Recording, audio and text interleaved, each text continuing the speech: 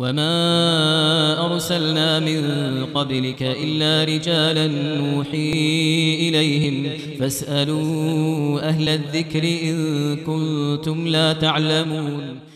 بسم الله الرحمن الرحيم. السلام عليكم ورحمة الله وبركاته. الحمد لله وكفى.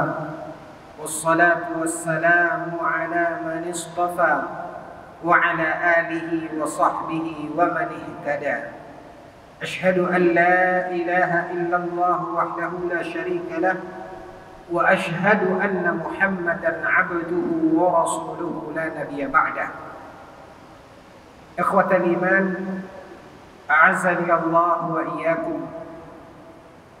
Puji dan syukur kita munajatkan kehadiran Allah Azza wa Jalla.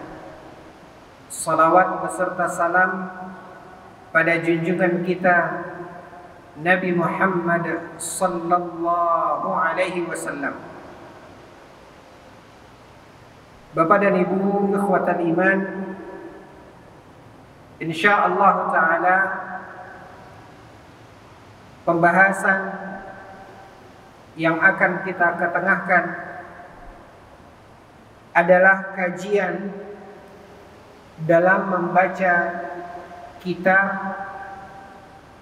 al al abwab al mukhtasarah fil aqidah. Yang kalau kita terjemahkan ke dalam bahasa kita yaitu bab-bab ringkas dalam masalah al-aqidah di mana di dalam kitab ini penulis berusaha merangkum secara global pembahasan-pembahasan di dalam masalah aqidah atau tauhid dalam sebuah tulisan yang sangat ringkas. Bahkan di dalam mukaddimahnya penulis menyebutkan beliau berusaha seringkas mungkin mengenengahkan pemaparan berkaitan dengan masalah tauhid atau masalah akidah secara umum. Sehingga kalau kita lihat dalam pembahasan kitab ini tidak dinukilkan dalil-dalil yang panjang.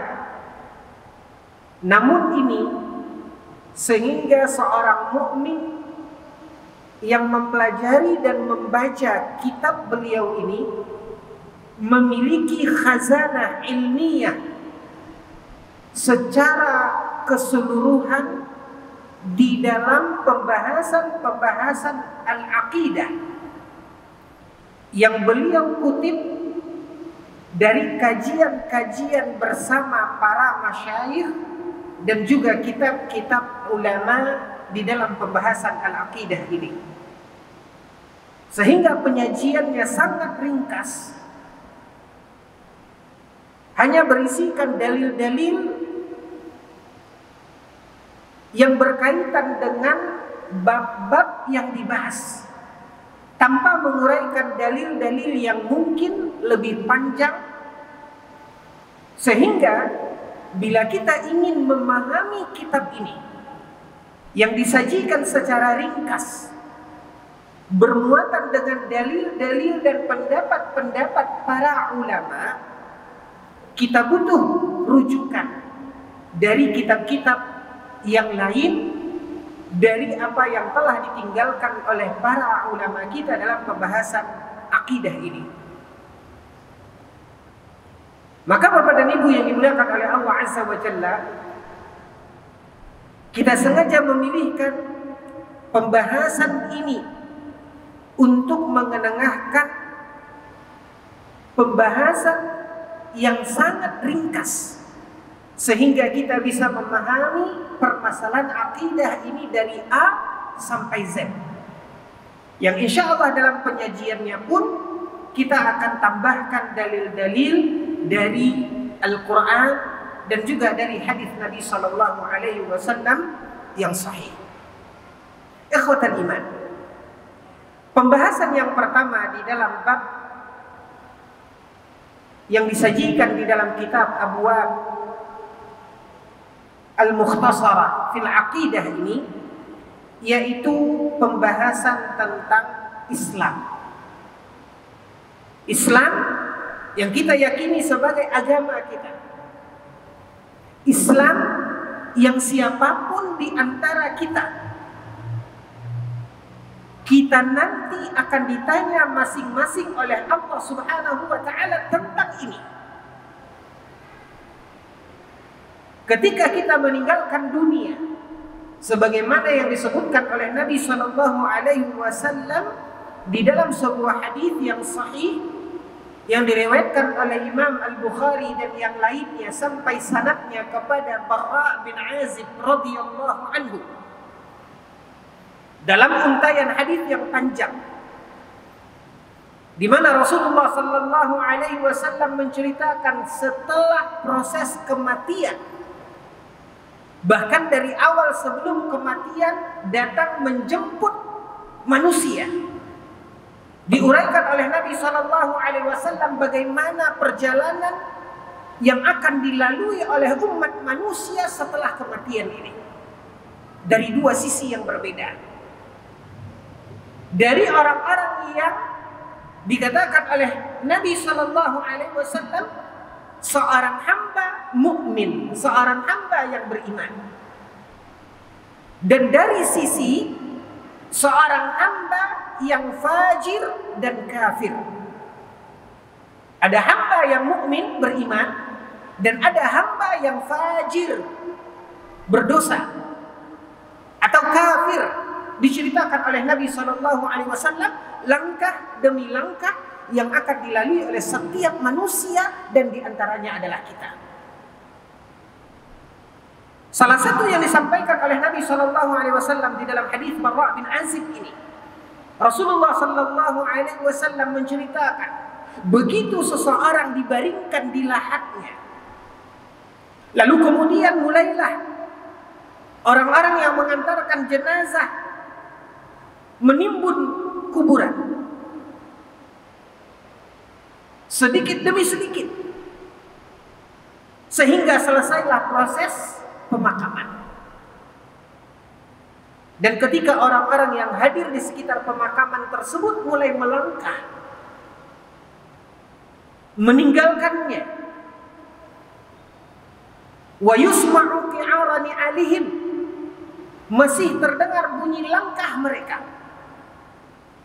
Yang biasa di masyarakat kita, orang-orang tua kita bercerita, begitu orang yang menguburkan akan pergi meninggalkan kuburan tersebut, ketika tujuh langkah. Ini yang diceritakan oleh orang-orang tua-tua kita. Tetapi ini sesungguhnya tidak ada di dalam riwayat yang sahih pembatasan langkah tersebut. Yang ada di dalam hadis yang sahih, hadis Bara bin Azib, Nabi SAW mengatakan wa yusma'u ki'arani alihim. Masih terdengar bunyi langkah mereka. Langkah keberapa tidak disebutkan. Maka kaum muslimin ini dimuliakan oleh Allah, fayatihi malaka.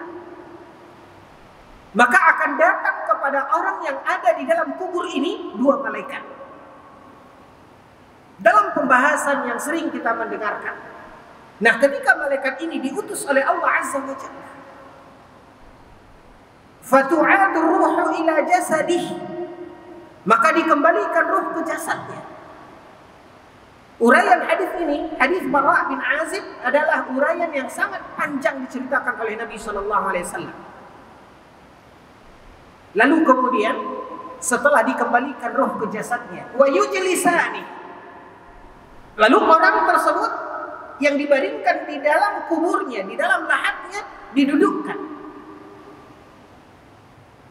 Dan di sini yang berbicara iman, bukan akal.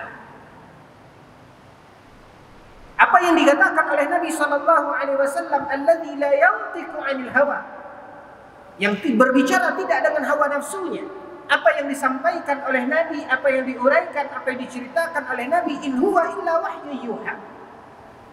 Adalah apa yang diwahyukan kepada beliau.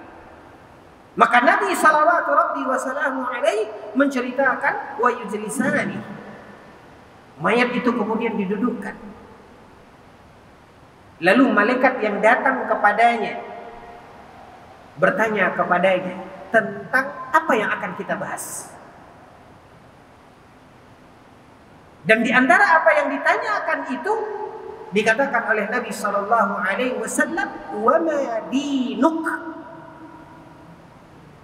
Apa agamamu?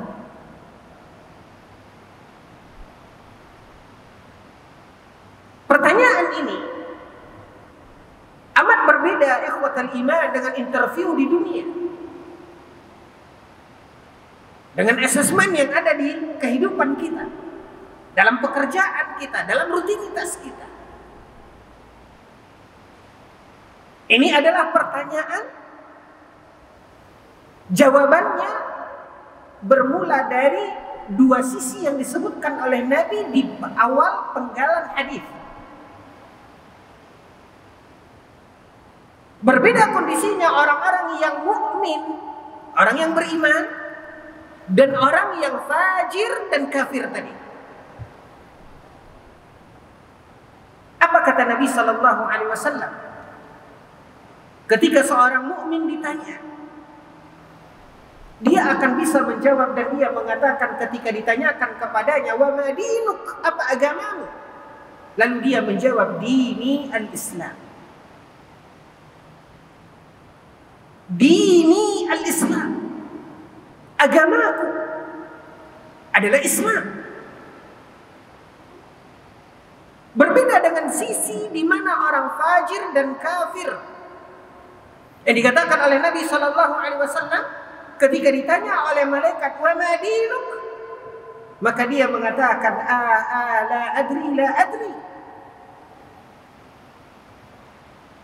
Mereka akan mengatakan aku tidak tahu aku tidak tahu. Ah ah ungkapan yang diceritakan oleh Nabi SAW gambaran tentang Susahnya dia untuk menjawabnya. Terbata-bata dia untuk memulai katanya. Merangkai kalimat demi kalimat menjawab pertanyaan ini. Dan dia mengatakan, La adri, la adri. Bahkan ada orang yang kata Nabi SAW ketika ditanya, Wa madinuk, apa agamamu? Kalau yang pertama tidak tahu. Yang kedua ada kata Nabi SAW dia mengatakan, Sami'tun nasa yaquluna Fakultu mithla maqalu. Aku dengar orang-orang mengatakan seperti ini. Maka aku, aku pun mengatakan seperti itu pula. Maka dua sisi jawaban yang ada di sini ikhwatal iman. Orang yang tidak tahu atau orang yang menjawab karena mengikuti apa yang dia dengar saja. Artinya tidak berangkat dari ilmu, dari keyakinan, dari hati. Maka inilah orang yang celaka. Makanya diurai oleh Nabi Shallallahu Alaihi Wasallam dari dua sisi, sisi mukmin dan sisi seorang yang fajir dan kafir.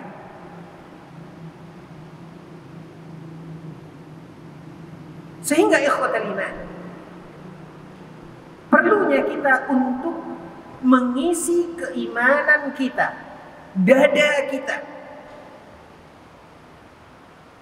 Bekal untuk kita menjawab satu pertanyaan yang pasti kelak akan kita temui. Maka akan ditanyakan kepada kita tentang agama kita. Agama yang kita yakini bahwasanya agama kita adalah Islam. Apa itu Islam? Maka ikhwatal iman azani Allah wa iyyakum Islam huwa al-istislamu lillahi bit-tauhid wal inqiyadu lahu bit-ta'ati wal bara'atu minasy-syirki wa ahlihi. Apa itu Islam? Islam adalah al-istislam istislam penyerahan diri kita. Istislam dalam bahasa, secara bahasa itu artinya menyerah. Maka agama kita Islam adalah dengan istislam. Makanya dinamakan agama itu dengan Islam. Karena orang yang menganut Islam itu dia mesti istislam. Mesti menyerahkan dirinya. Kepada siapa dia menyerahkan dirinya? Tidak kepada makhluk. Tapi dia serahkan dirinya kepada yang punya. Yang telah menciptakan. Rabbul Izzati wal Jalalah. Makanya dikatakan istislamu lillah. Serahkan diri kita kepada Allah. Seperti apa dan bagaimana kita menyerahkan diri kita kepada Allah Azza wa Jalla bitauhid. Serahkan diri kita bitauhid. Dengan hanya beribadah kepada Allah Subhanahu wa taala satu-satunya, la syarikalah. Tidak ada sekutu baginya. Tidak menyerahkan peribadatan kita, penghambaan diri kita kepada selain Allah bulan-bulan. Mutlak kita serahkan diri kita kepada Allah bitauhid yaitu dengan bertauhid mengesahkan Allah jalla jalaluhu dan ini kunci yang pertama.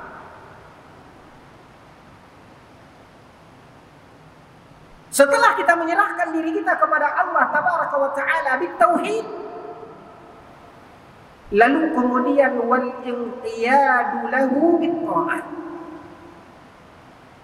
tunduk kepadanya dengan melakukan ketaatan. Tunduk kepadanya dengan melakukan ketaatan. Patuh sebagaimana yang diperintahkan oleh Allah tabaraka wa taala di dalam Al-Qur'an ya ayyuhalladzina amanu atii'u Allah Wahai orang-orang yang beriman, patuhlah, taatlah kepada Allah. Dan kita harus patuh, tunduk. Taat kepada Allah Jalla Jalaluh. Atas apa yang Allah Tabaraka wa Ta'ala perintahkan. Ikhwatal iman. Semua kita tahu bagaimana kisah perjalanan iblis sampai akhirnya dimurkai oleh Allah Subhanahu wa taala dan diusir dari surga. Padahal sebelumnya apa yang terjadi pada iblis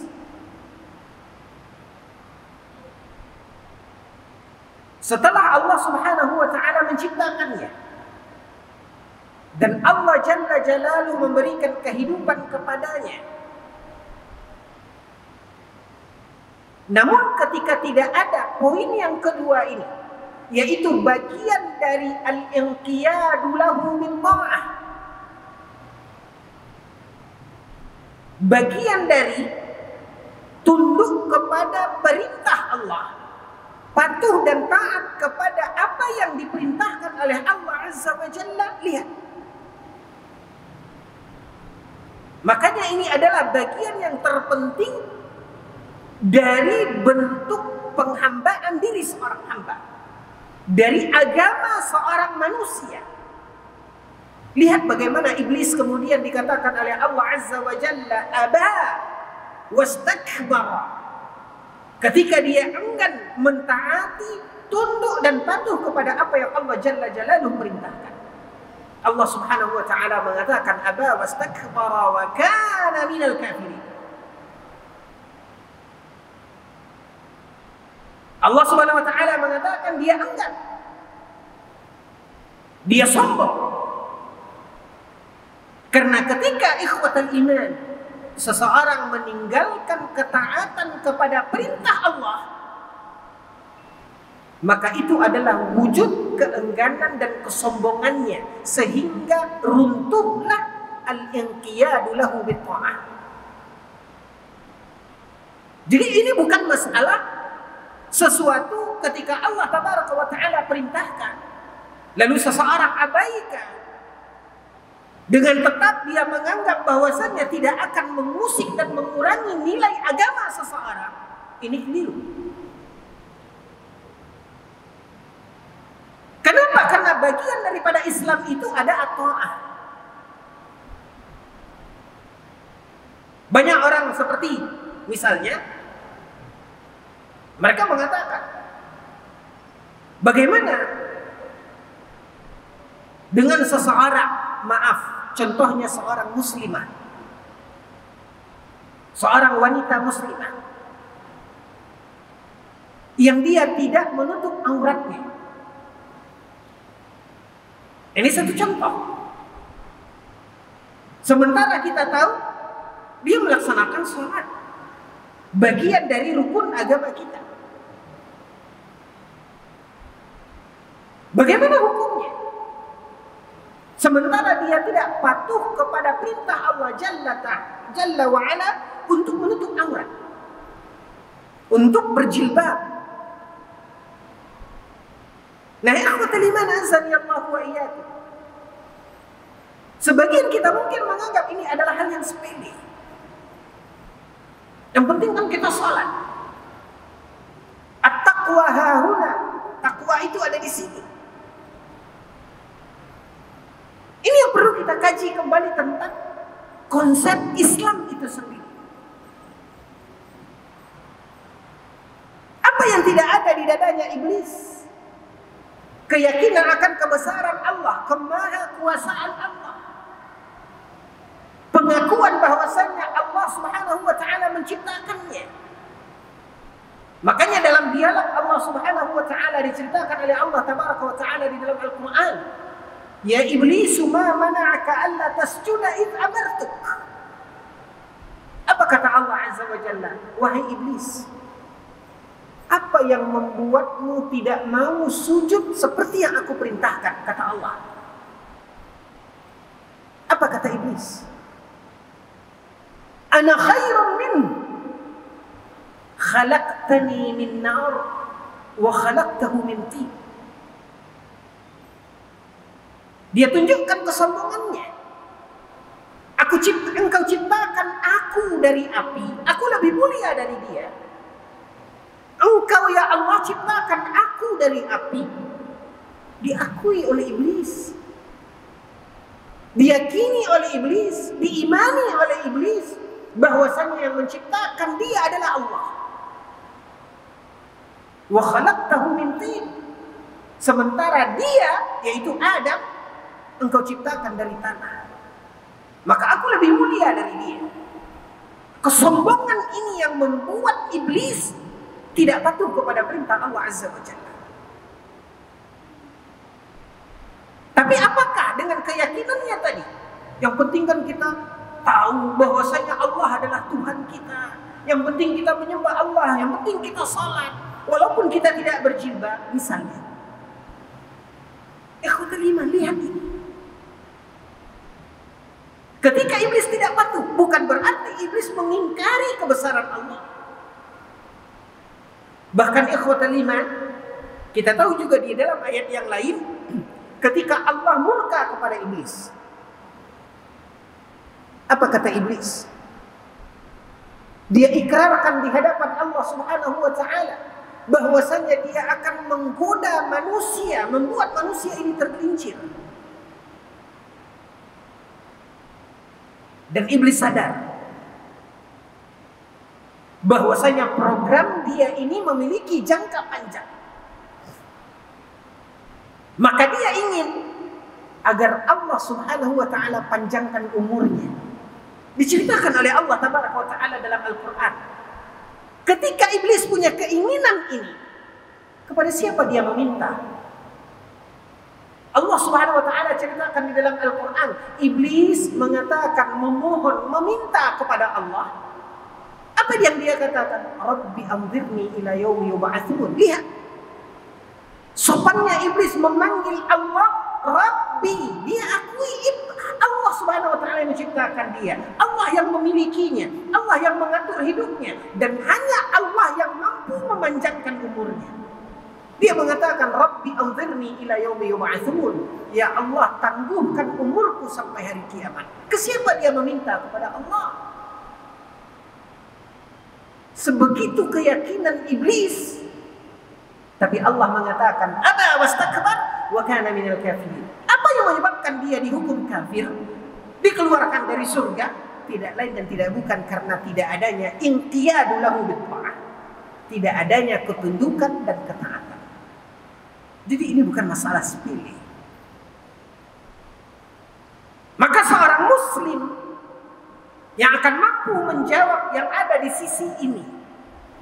Yang akan mengatakan dini al-Islam adalah seorang yang istislamu lillahi bitauhid wal inqiyadu lahu bitta'ah. Dan yang ketiga ikhwatal iman azan Allah wa iyyakum wal bara'atu minasyirki wa ahli yaitu berlepas diri dari kesyirikan dan pelaku kesyirikan yaitu orang-orang musyrik. Berlepas diri. Nanti kita akan sampai kepada pembahasan dampak dari kesyirikan itu ketika ada di dalam diri kita. Ketika ada di dalam kehidupan kita. Misalnya seseorang yang tadi menyerahkan diri kepada Allah bertauhid dia. Faham dia. Yakin dia bahwasanya hanya Allah yang menciptakan, hanya Allah yang berkuasa, tidak ada sekutu bagi Allah. Ya. Atau dia adalah orang yang tunduk patuh kepada Allah, menjalankan segala perintah Allah. Tetapi ikhwatal iman yang ketiga ini dia tidak ada. Artinya dia tidak berlepas diri dari syirik. Dia melakukan kesyirikan apa pun bentuknya. Nanti kita akan sampai kepada pembahasan apa saja yang termasuk kepada kesyirikan itu. Nah, bila ini dilakukan ikhwatal iman, bagaimanapun ketundukan dan ketaatan seorang mukmin, seorang manusia, seorang hamba, kita yakin semuanya tidak ada yang melebihi ketaatan Rasul Siapa yang tidak paham mendengarkan bagaimana amal Rasul Nabi Shallallahu Alaihi Wasallam. Bahkan ada seorang sahabat dia ingin tahu bagaimana amal sirnya Nabi Shallallahu Alaihi Wasallam. Bagaimana amal Nabi dalam kesendirian beliau. Dia ingin lihat bagaimana ibadah tahajudnya qiyamul lail Nabi Shallallahu Alaihi Wasallam. Itulah sahabat Abdullah ibnu Mas'ud yang diceritakan di dalam sebuah riwayat. Panjang lebar diceritakan oleh Abdullah bin Mas'ud. Yang kemudian digambarkan oleh Aisyah radhiyallahu anha tentang bagaimana salat malam Nabi sallallahu alaihi wasallam. Dalam kegelapan, warna sunyian dan orang sibuk. Larut dalam tidur dan mimpinya Nabi SAW salat. Bagaimana panjangnya salat yang diceritakan oleh Abdullah ibnu Mas'ud diceritakan oleh Aisyah radhiyallahu anha hatta warima qadamah sampai bengkak kaki Nabi, tumit Nabi. Saking lamanya Nabi SAW dalam salat malamnya. Ketaatan dan ketundukan. Bahkan Aisyah mengatakan, Ya Rasulullah, Ummul Mukminin mengatakan, Ya Rasulullah, kenapa engkau begitu panjang salat malam? Wa qad ghufira laka ma taqaddama min dzambik. Allah tidak menghitung dosa dan kesalahanmu ya Rasulullah. Apa kata Nabi? Afala akuna 'abdan syakura? Apa salahnya aku menjadi seorang hamba yang bersyukur? Nabi yang begitu amalnya, ikhwatan iman, ketundukannya. Apa kata Allah Jalla wa Ala di dalam Al-Qur'an? ولقد أوحي إليك وإلى الذين من قبلك لئن أشركت ليحبطن yahbatna amaluk. Apa kata Allah Azza wa Jalla? Sungguh telah diwahyukan kepada engkau. Lihat bagaimana Nabi Muhammad SAW dan juga para rasul sebelum beliau. Apa kata Allah? Lain asyarakta. Jika engkau berbuat kesyirikan. Di poin yang ketiga ini tidak berlepas diri dari kesyirikan. Jika engkau melakukan kesyirikan apa pun bentuk dari kesyirikan itu, terkhusus syirik besar, bahkan juga termasuk juga syirik kecil, ketika berkaitan dengan amal nanti beda pembagiannya. Apa kata Allah? La yahbatanna amaluk maka akan sia-sia amalmu. Nah, ikhwatan iman. Ada apa dengan agama kita? Ketika kita masih merasa diri kita adalah seorang muslim, tetapi ada kesyirikan di dalam kehidupan kita.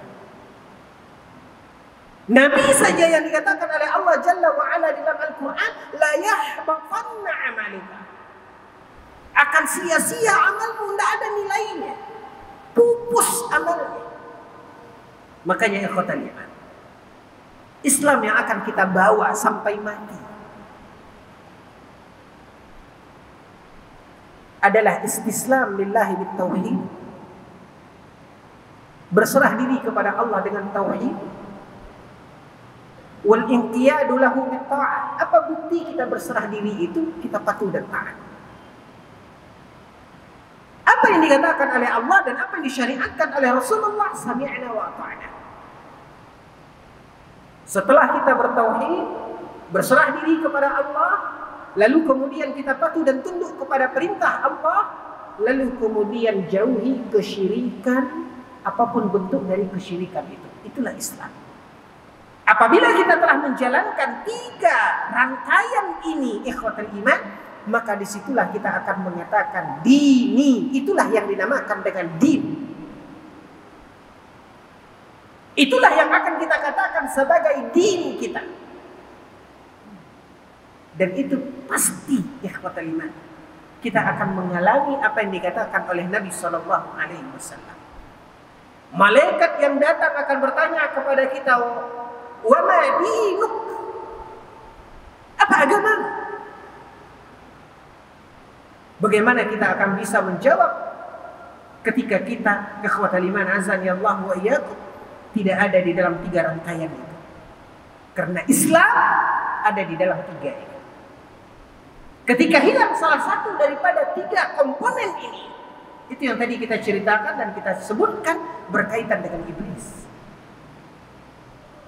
Bagaimanapun Rasulullah Sallallahu Alaihi Wasallam tunduk berserah diri kepada Allah, patuh melaksanakan perintah Allah, tapi kalau tidak ada yang ketiga, Allah sendiri yang mengatakan la yahbatanna amaluka akan sia-sia amalnya.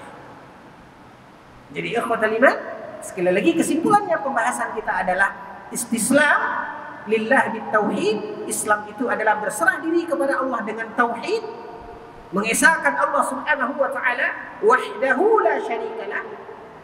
Lalu kemudian wal inqiyadu lahu bitta'ah tunduk patuh kepada apa yang diperintahkan oleh Allah Azza wa Jalla dan yang ketiga wal bara'atu minasyirki wa ahlihi berlepas diri dari apa pun bentuk dari kesyirikan dan juga pelaku dari kesyirikan tersebut. Inilah ikhwatal iman, a'azzani Allah wa iyyakum yang ada di dalam pembahasan bab pertama tentang apa itu Islam. Kemudian selanjutnya pembahasan tentang arkanul Islam di mana rukun-rukun Islam itu ada lima. Yang pertama mengucapkan la ilaha illallah, asyhadu an la ilaha illallah wa anna muhammadar rasulullah. Wa iqamis salah wa ita'iz zakah wa shaumi ramadan wa hajjul baiti man istata'a ilaihi sabila. Yang kita kenal dengan lima rukun Islam yang insyaallah taala pada waktunya akan kita uraikan masing-masing dari setiap rukun-rukun dari agama kita tersebut berdasarkan dalil yang ada di dalam Al-Quran dan hadis Nabi Sallallahu Alaihi Wasallam. Mungkin ikhwatan iman sampai di sini uraian pembahasan kita dalam kitab Al-Abwab Al-Mukhtasarah fil Aqidah. Berapa menit lagi, Pak? 14 menit lagi. Baik. Kalau ada pertanyaan, silakan. Pas. Ya, kalau pas kita lanjutkan. Tidak ada masalah. Masih ada waktu. Baik. Dalam pembahasan rukun Islam, rukun Islam yang lima. Semua kita sering mendengarkan dalilnya berdasarkan Al-Quran. Ya, berdasarkan Al-Quranul Karim ya dalam beberapa ayat Allah tabaraka wa taala menjelaskan tentang masing-masing rukun itu. Lalu dirangkum dalam sebuah hadis yang dikeluarkan oleh Imam Al-Bukhari dalam kitab sahihnya juga hadis ini dinukilkan oleh Imam An-Nawawi di dalam kitab Al-Arba'in An-Nawawiyah. Hadis yang sering kita menyebutnya sebagai hadis Umar atau disebut juga dengan hadis Jibril. Ketika Imam Al-Bukhari meriwayatkan sampai sanadnya kepada Umar bin Khattab Amirul Mukminin radhiyallahu anhu di mana Umar menceritakan bainama kunna julusun 'inda Nabi sallallahu alaihi wasallam yaitu ketika para sahabat duduk bersama Nabi sallallahu alaihi wasallam ittala alaihi rajulun syadidu bayad thiyab syadidu sawad sya'ri ketika para sahabat duduk bersama Nabi dan salah satu di antara yang duduk bersama Nabi adalah Umar yang menceritakan ini. In tiba-tiba sekonyong-konyong tala alaina rajulun datanglah kepada kami seorang laki-laki. Datang kepada kami seorang laki-laki. Syadidu bayad thiyab. Bajunya sangat putih bersih. Syadidu sawadi sya'ri. Dan rambutnya sangat hitam. La ya'rifu minna ahad. Tidak seorang pun di antara kami yang mengenalinya. Tiba-tiba datang seseorang yang tidak dikenal. Lalu kemudian la yura minhu safar. Kata Umar bin Khattab, kalau dikatakan dia dari bukan dari daerah sini, sehingga kami tidak seorang pun yang mengenalinya, artinya berarti dia dari daerah yang jauh. Tapi kalau dibilang dia dari jauh, tidak terlihat tanda-tanda dia habis melakukan perjalanan jauh dari safar. Yang tentu kalau dia dari daerah jauh, dia datang, bajunya pasti lusuh pasti berdebu. Ini tidak. Bajunya bersih, putih. Rambutnya rapi, sangat hitam. Lalu tiba-tiba ketika dia datang, wajalasa dan Nabi sallallahu alaihi wasallam. Lalu tiba-tiba dia duduk persis di hadapan Nabi sallallahu alaihi wasallam. Wa asnada rukbatahu ila rukbatihi Seberapa dekat dia duduk di Nabi Shallallahu Alaihi Wasallam, dia sandarkan lututnya dengan lutut Nabi Shallallahu Alaihi Wasallam, menempel dengan Nabi Shallallahu Alaihi Wasallam. Wa ala. Lalu dia letakkan tangannya di atas kedua pahanya. Lalu dia bertanya, dia berkata kepada Nabi Shallallahu Alaihi Wasallam, "Akhbirni anil Islam." Dia mengatakan kepada Nabi Shallallahu Alaihi Wasallam, sampaikan ceritakan kepadaku tentang Islam. Apa itu Islam? Lalu dikatakan oleh Nabi Shallallahu Alaihi Wasallam, al-Islam أن تشهد أن لا إله إلا الله وأن محمد رسول الله وإقام الصلاة وإيتاء الزكاة وإقام الصلاة وإيتاء الزكاة وصوم رمضان وحج البيت من استطاع إليه سبيلا Disampaikan oleh Nabi satu persatu dari rukun Islam itu. Lalu setelah Nabi Shallallahu Alaihi Wasallam menjelaskan rukun Islam ini dari lima rukun Islam ini, lalu orang tadi mengatakan kepada Nabi Sadaqta, benar. Poin-poin yang sebelumnya membuat para sahabat bertanya-tanya, heran. Ditambah lagi dengan orang ini bertanya, Lalu dijawab oleh Nabi Shallallahu Alaihi Wasallam. Kemudian dia mengatakan sadaqta, benar. Fa'ajibna. Wa yas yas'alu wa yusaddiqu. Ini orang siapa? Dia datang bertanya, lalu dia mengatakan setelah Nabi menjawab pertanyaannya dia katakan benar, seolah-olah seperti menguji. Para sahabat Bertanya ini orang siapa? Sampai akhirnya ikhwatul iman azan ya Allah wa iyyakum. Setelah dia bertanya tentang Islam dan inilah yang dijadikan dalil tentang rukun Islam. Dari hadis Umar bin Khattab atau hadis yang disebut yang dikenal dengan istilah hadis Jibril. Lalu kemudian dia bertanya tentang iman, dia bertanya tentang ihsan. Sampai akhirnya ikhwatul iman setelah dia bertanya dan setiap pertanyaan dijawab oleh Nabi dia selalu membenarkan sadaqta falabithna maliyan lalu setelah dia bertanya dia pergi begitu saja para sahabat Umar mengatakan falabithna maliyan. Semua diam. Beberapa saat terdiam.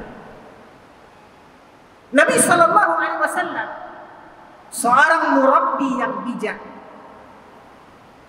Nabi menyadari dan membaca dari mimik wajah para sahabat mereka punya ganjalan. Makanya kemudian dipanggil oleh Nabi Shallallahu Alaihi Wasallam di majelis itu setelah orang ini berlalu, Nabi bertanya kepada Umar, Ya Umar, ata'lamu manir rajul? Tahukah engkau siapa orang ini? Umar mengatakan Allah wa rasuluhu alam. Umar mengatakan Allah dan Rasulnya yang lebih tahu. Lalu kemudian Nabi Sallallahu Alaihi Wasallam mengatakan, Huwa Jibril. Baru dibukakan oleh Nabi identitasnya. Siapa dia? Jibril. Nah, ikhwatal iman azani Allah wa iyyakum. Inilah hadis yang dijadikan dalil tentang rukun Islam. Yang lima, mengucapkan dua kalimat syahadat, mendirikan salat, membayar zakat, puasa pada bulan Ramadan, kemudian naik haji bagi yang mampu ke Baitullah. Dalilnya adalah hadis Jibril ini.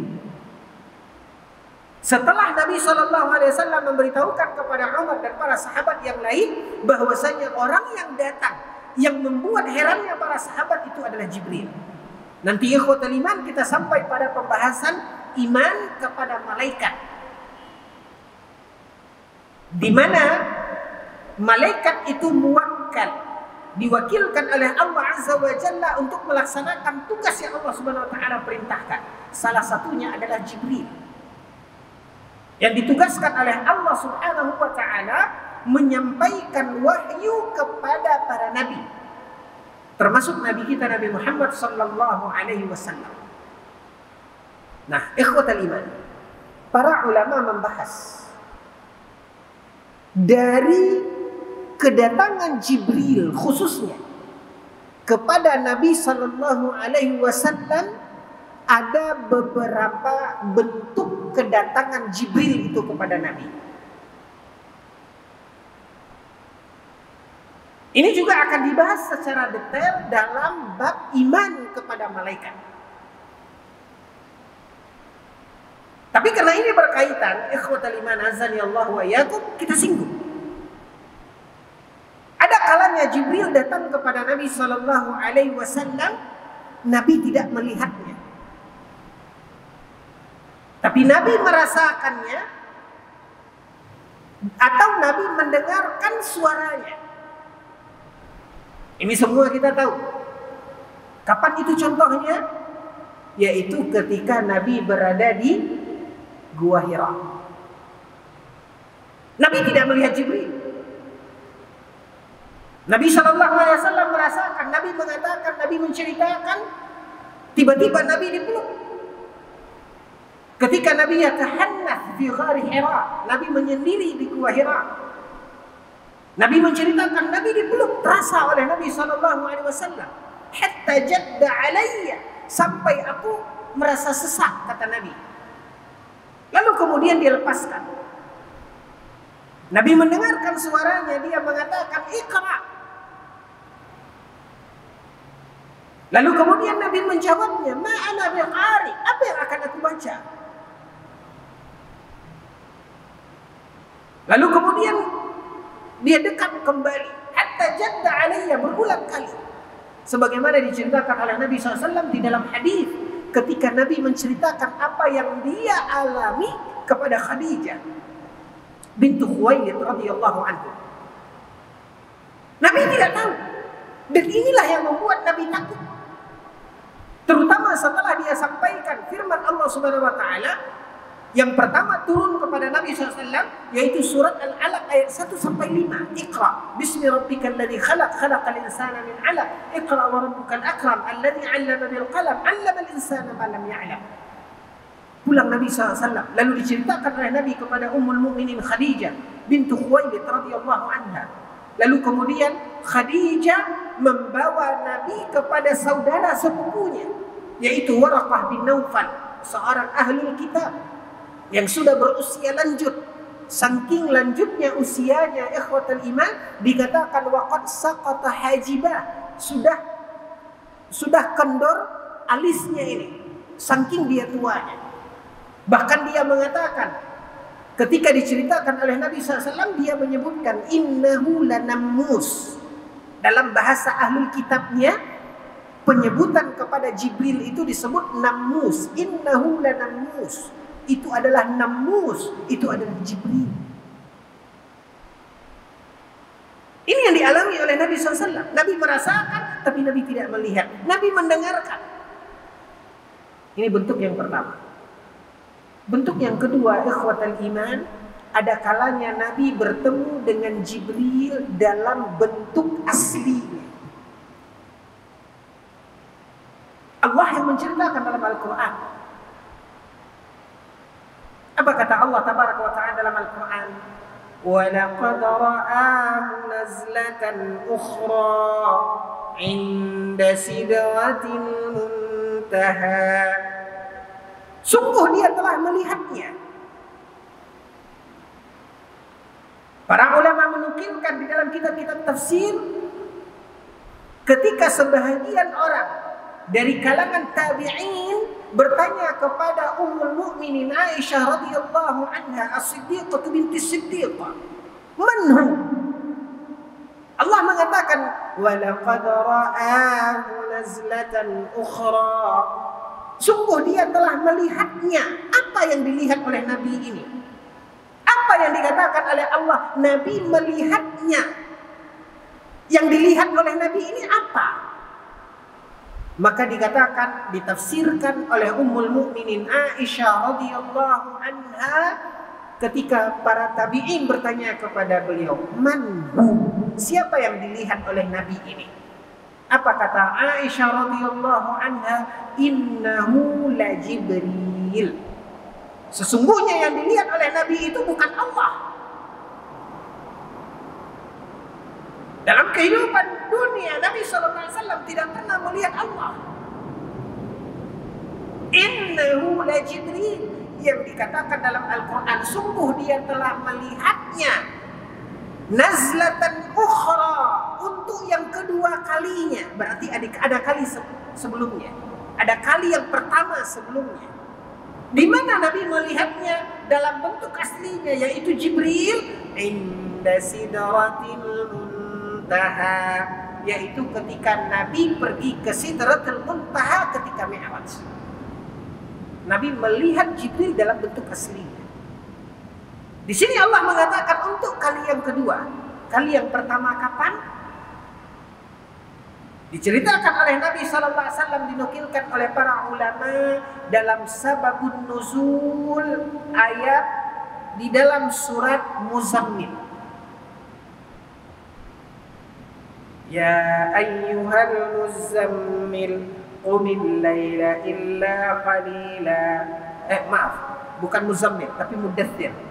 Qul ya ayyuhal mudaththir qum fa'anzir, mudaththir. Ya. Jadi ini kali yang pertama. Dilihat oleh Nabi Shallallahu Alaihi Wasallam Jibril dalam bentuk aslinya. Dan ini bentuk yang pertama. Ada beberapa bentuk yang lainnya, ya. Pertama tadi Nabi tidak melihat Jibril, tapi merasakan kehadirannya, mendengarkan suaranya. Yang kedua, melihat dalam bentuk aslinya. Dan yang ketiga, Nabi melihat Jibril ketika Jibril menjelma dalam bentuk manusia. Kapan itu? Ini dia. حديث عمر بن الخطاب. وصلى الله على نبينا محمد وعلى آله وصحبه وسلم. وتجي من بدرس كتاب سبحانك اللهم وبحمدك أشهد أن لا إله إلا أنت أستغفرك وأتوب إليك. والمعافى والسلام عليكم ورحمة الله وبركاته.